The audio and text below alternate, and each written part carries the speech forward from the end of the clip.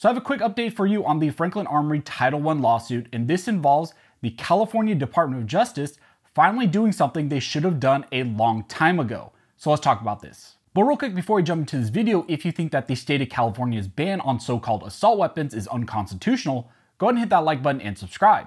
I also want to give a shout out to one of the main supporters of the channel, and that is USCCA. Through your membership, you get training, education, and self-defense liability protection. So if you carry a firearm, I highly recommend you take a look into USCCA and I'll put a link to them down in the detail section. I also want to let you know that this content is powered by the Firearms Policy Coalition. So head on over to joinfpc.org to help support the Second Amendment cause. Thank you again, Firearms Policy Coalition, for supporting this channel. So like I said in the intro, I have an update for you on the Franklin Armory Title I lawsuit. This is something that people ask me quite frequently about, and we actually got some additional news and an update on something that the state of California is finally doing, pretty much in relation to this lawsuit that was brought against them. And essentially, the state of California has finally added the other option in the DRO system, but the state is simply doing this to try and moot the lawsuit against them. So let's get into this and let's talk about what's going on. Franklin Armory is a manufacturer out of Nevada, and they make California compliant firearms for those of us here in the state.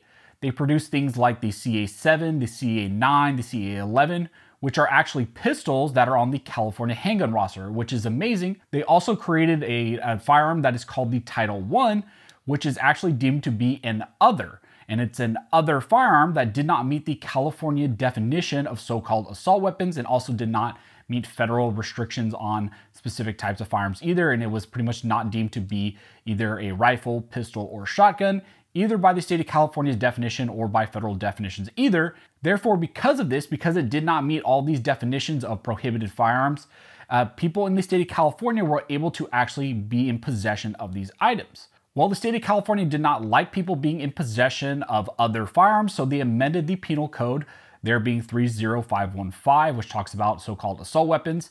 And they did that by passing SB 118.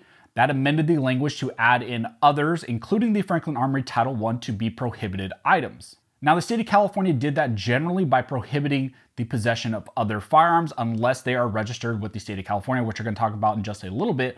But the larger issue with the Franklin Armory Title I is that although it was deemed to be an other firearm and people could be in lawful possession of it, uh, the company Franklin Armory was never actually able to sell that firearm to consumers in California. So, in the state of California, when you purchase a firearm from a dealer, they have to run a background check and that firearm has to be entered in the dealer record of sale. And one of those requirements is that they have to mark the firearm as one specific thing, either a rifle, pistol, shotgun, receiver, revolver, etc. And there are specific options that the dealer has to enter. Well, one of the issues with the Franklin Armory Title I is since it was an other, the Department of Justice didn't have an other option in that drop down menu. And although the state of California was told they needed to add that other drop down menu, they continually failed to do it. And this failure of the state of California and the Department of Justice to add that option in the drop down menu became the basis of two Franklin Armory lawsuits against the state of California. So the last update I brought you on this Franklin Armory lawsuit was that the lawsuit survived a demur that was filed by the state of California. Essentially, the state of California was trying to get rid of this entire case through a demur. However, that demur was actually denied by the Superior Court and the case is now moving forward to trial. Well, we got information from Franklin Armory and I will actually read this press release letter to you, which is an update on this whole lawsuit that's going on. So the letter reads, CA introduces other to DES. And it says, breaking, California Bureau of Firearms botches apparent attempt to moot Franklin Armory lawsuit and this is dated September 30th of 2021. It states today Franklin Armory Inc. is proud to provide an update on its lawsuit against the California Department of Justice that seeks to hold the department accountable for its refusal to process lawful firearms to non prohibited California residents. On Monday, in response to the lawsuit brought by Franklin Armory and the California Rifle and Pistol Association, the DOJ unveiled and announced its modification of the dealer record of sale entry system this update modified the DES to include the other field for the transfer of firearms that previously fell outside the DOJ's pre-programmed parameters, dubbed other firearms, a key demand made within the lawsuit. The lawsuit stems in part from the design and implementation of DES, which is incapable of accepting the necessary data required for the transfer of firearms deemed others, because they did not fall within the DOJ's pre-programmed criteria and the DOJ's refusal to provide alternative means to effectuate the transfer of these firearms. Licensed firearms dealers in California are required by law to submit all firearms transfer data to the DOJ electronically via the DES or any other approved DOJ procedure. Until this recent change, the DES has only permitted the accurate and lawful transfer of handguns, pistols, revolvers, rifles, shotguns, and frames or receivers. Dealers were prevented from accurately submitting the required information through the DES for these other firearms, and the DOJ offered no alternative means of transfer. This exclusion of the other category and lack of alternative means of transfer barred non prohibited citizens from lawfully acquiring other firearms, including the Franklin Armory Title I. The lawsuit further alleges that despite being placed on notice of this defect, the DOJ intentionally refused to correct the system or provide an alternative means of transfer to delay the lawful processing and transfer of Franklin Armory Title I firearms, and concurrently pursued legislation to prohibit the transfer of these firearms to the thousands of Franklin Armory customers who were barred from acquiring the firearms by the DOJ's conduct. The letter concludes by saying that though the DES was updated with the other option, Monday's update did not lift the DOJ's bar on all others. DOJ rules and instructions concurrently announced with the change arbitrarily restricts the use of the other option, rendering its function illusory for the transfer of currently lawful variants of the Title I and many other firearms.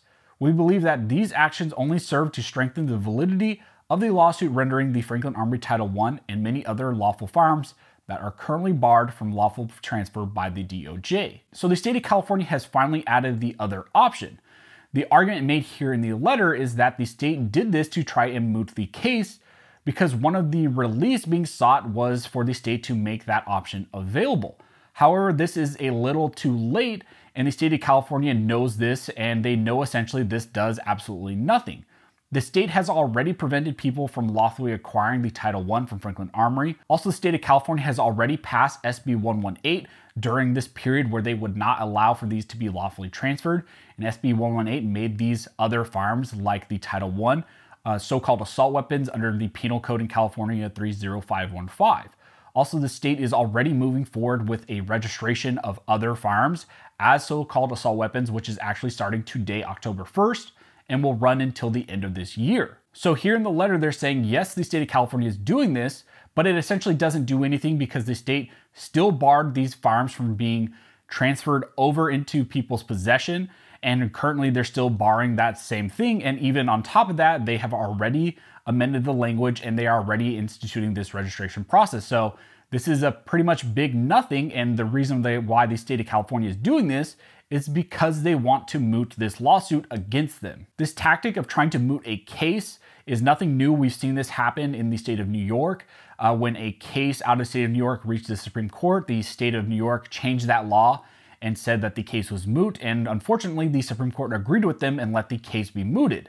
And essentially, since then, um, other states, like the state of California, have used this same tactic. So, this case involving Franklin Armory is something definitely we will be keeping our eyes on especially with the registration period opening up for other firearms in the state of California. We will see if this case impacts that registration process and all of that going forward. Also, if you want my opinion on registering so called others as uh, so called assault weapons in the state of California, I did a video on that, and you can click this tab right there and it takes you to that video. And I kind of give my opinion on registering others in the state of California as so-called assault weapons and what I would recommend and what I would do. Also, if you like this video and like support the channel, one of the best ways to do that is to like, comment, and subscribe. All those things help to fuel the algorithm or fuel Al Gore's rhythm.